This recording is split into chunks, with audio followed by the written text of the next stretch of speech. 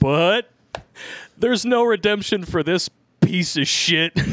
All right, now Don Lemon is out. And he lied about how he was fired, which makes it even funnier. All right, now in regards to you know Don Lemon, I, you know, from what I've seen of this individual in the media, I don't really uh, appreciate or like him at all. yeah, Mr. And then you know I've heard about him being sued for sexual craziness. I looked into that, and it was just absolutely abhorrent what this motherfucker did. Yeah. The, the crap that he was doing to dudes Yeah. bars and and, and we need to stop demonizing people and recognize that the real terror threat in this country is white men. Like Yep. uh, that's why you're worst journalist of the year, Don Lemon, worst journalist of the year. And and listen, I mean, what's going to happen to Lemon, in my opinion, is going to he's really done for the most Yeah, part. I think he's done. he's done. Done. He's got enough money; he'll be fine. Yeah. Whereas Tucker, he's going to come back to do something else. Yeah, I think so too. And, and Tucker's got more money than this guy. Yeah, and and Tucker's But Tucker's getting, on a mission. yeah. Well, the thing is, Tucker's getting um, approached by Rumble Yep. and Daily Wire. Oh yeah, they're, they're I mean, uh, if they give him the same contract that they tried to give Crowder, don't sign with the team. Yeah, Wire. listen, um, I'm do not your a fan own of that. thing. Be your own boss. It's much better this way. Trust me. All right, I would I would not have a problem, you know, joining a media outlet if I didn't have to, you know, lose my website, lose the rights to my, uh, you know, digital and written properties. Yep. Okay, I am certainly not going to allow my image to be used, uh, you know, in per- perpetuity in the future. Yep. Perpetuity, that's what they call it. And uh, yeah, I'm not I'm not playing those games. And here's another thing: if you sit down to sign a contract and it's a bunch of legalese, just push it away and tell them to fucking rewrite it so you can read it as an average man. I don't want to have any weasel words that mean three or four different things depending upon if the comma was before or after that certain word. You know, fuck that. Mm-hmm.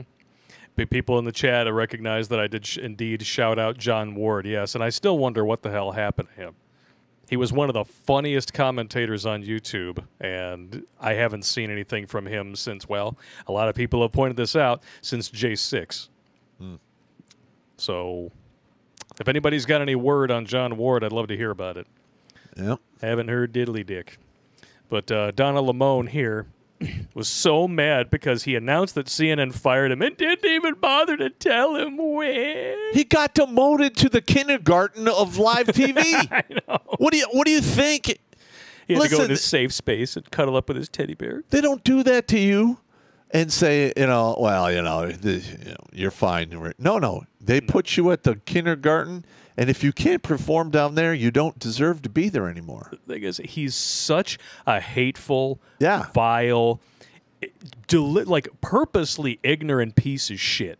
He couldn't get anyone, not even leftists who agree with him on everything, to pay attention to what he said. He's that disinteresting, he's that dishonest, and I'm glad he's gone. Yep. I don't know, and it, I was uh, like AOC was was gloating over. Oh, uh, of course, yeah. She's probably trying to take credit for Yeah. Tucker getting kicked That- off. What a Yeah. fucking cunt ball. Like, no, no. It had nothing to do with it. It's because he's telling the truth. Mm. It's unfortunate too, you know. I mean, the media is supposed to expose, you know, the, the the dirty underbelly of the truth when the government won't tell you what's going on, and then we have one guy who seems to be actually willing to stand up and do it. Guess what happens? He gets fired. Yep. And then you have Oliver Darcy at CNN just gloating about being directly asked to coordinate with the White House to spin economic news so we all won't realize just how fucked we are. Yeah, that is that. Listen, um, and I've said this before. When and if the two-way rifle range starts up, media is not going to be looked at as neutral. No, they will not be. They're uh, they're going to be among the first on the list. It's you know well, I mean? no, it's it's called psyops. Yeah. All right, propaganda psyops, whatever you want to call it. There are military units who operate in psyops. The media of today, they're technically didn't enlist, but they're doing the same thing. Yes, they are. It's all propaganda. Thanks, Barry. And uh, tell Big Mike we said hi. And and I, I mean I can hear it right now. There's going to be some serious in- incidents where you're going to have some news trucks that get shot up, may or may not have people die. I don't want to see that happen. I don't want to see that happen either. But then they're going to whine and cry about it on the media about oh, it's so terrible. yeah." But when you look at it from a rational viewpoint, like you're you're in mi- an enemy unit on the battlefield. You're getting engaged like any other enemy unit on the battlefield. yep. It's just that simple. Now I, I don't want to see that happen at all. I you know, this whole thing is making me disgusted. Mhm. And I'm planning to get the fuck out of the way because I am way too old to participate in this shit now. Watch Grunt Speak live every Tuesday and Thursday at 8 p.m. Eastern. And if you want to join Popp for Supporter Sundays, go to redonkulas.com slash donate and make a monthly pledge. A link is in the meat caser box.